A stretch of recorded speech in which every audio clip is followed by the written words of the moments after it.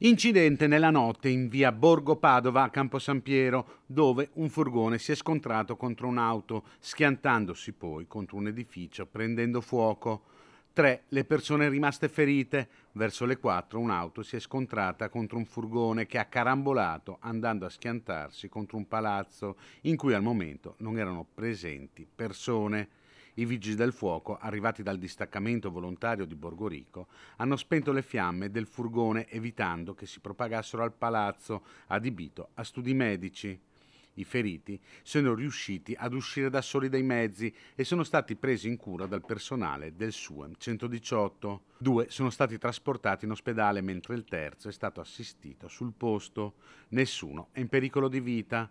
Sul luogo sono arrivati anche i carabinieri che hanno eseguito i rilievi dell'incidente per ricostruirne l'esatta dinamica.